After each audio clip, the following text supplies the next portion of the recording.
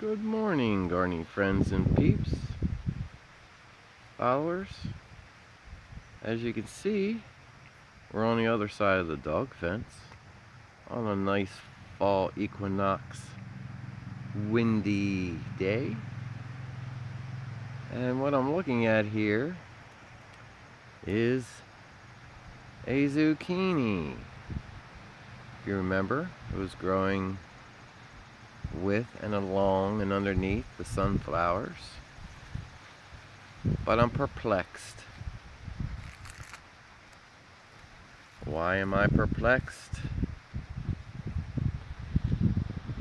This zucchini, hopefully you can see in the sunlight, it is turning orange.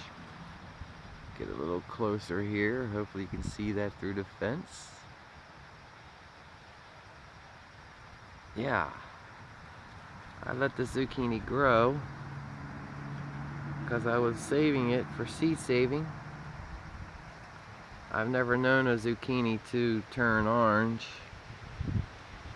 but this one has. I'm thinking it's a possibility it may have crossed with the pumpkin. That's why it's turning orange if I'm wrong leave a comment. Let me know your thoughts. But it's going to be exciting to save this zucchini and its seed and replant next year and just see what we've got. And here I thought the pumpkins were finished. But Apparently not. And the reason why I say not, because of that little guy.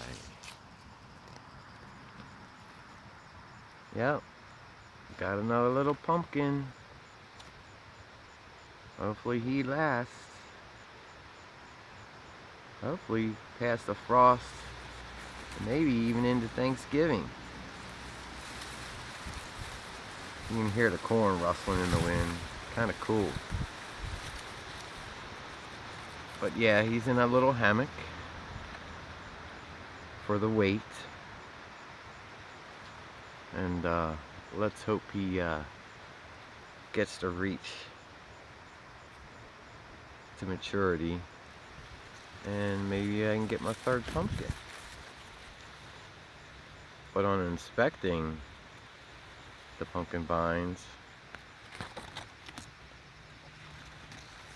Down in the corn patch.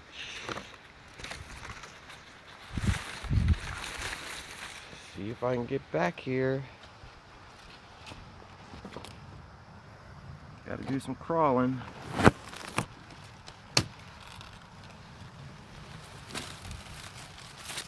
Crawling on the ground. Crawling on the ground. Yep, crazy. Crawling on the ground. But because, what do you see? I was amazed. A mystery pumpkin. All but small. But look at that little guy. It's a cutie. Him up there into the light a little bit. Yeah. A nice little mini pumpkin. Alright, gardening friends and peeps. Have a great day.